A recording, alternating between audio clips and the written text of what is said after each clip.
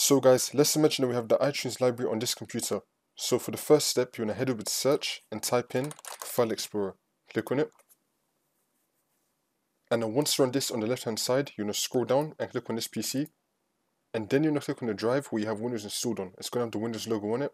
That's how you know it's the correct one. You want to double click on it. And then click on Users. And then click on your username.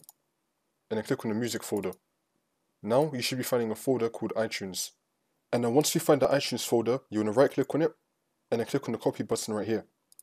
You could also click on it and then click on Control and C on your keyboard, which will then copy it.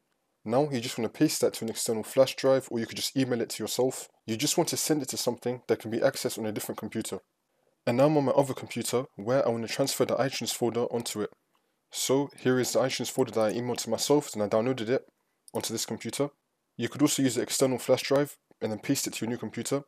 And then once we have it and we're on the other computer, you want to head over to search and type in File Explorer. Click on it. And then click on this PC. And then click on your Windows drive. Users.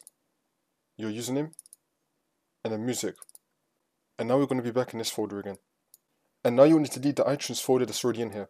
If there's anything in this folder, which there actually shouldn't be anyway, you want to make sure that it's backed up first, and then you can just delete it. And now we're going to drag in the iTunes folder that we copy and pasted from our other computer into here. Now you just want to restart your computer and then you should be good to go.